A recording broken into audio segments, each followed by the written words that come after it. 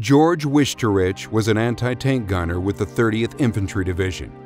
After arriving in Normandy in June 1944, the division had worked its way inland by August. Due for a rest, their general moved the 30th to Mortain, a village at the base of Hill 314.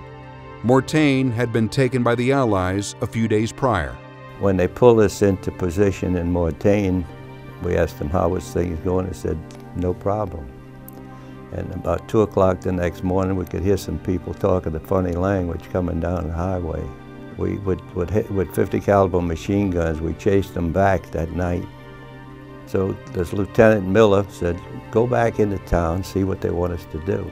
We took the Jeep and we started down the highway heading back into town. And all of a sudden, tracer bullets start hitting in front of the Jeep.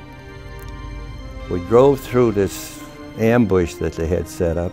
The Jeep stopped wouldn't go any further.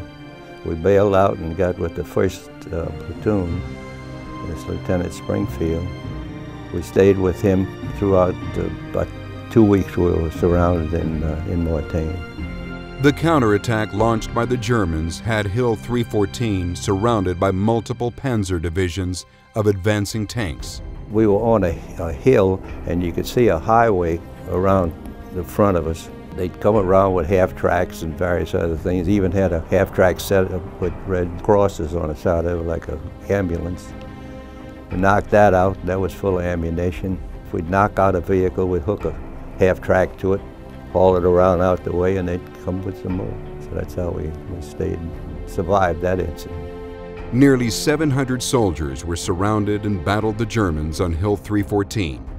Almost half were killed or wounded before the Germans withdrew.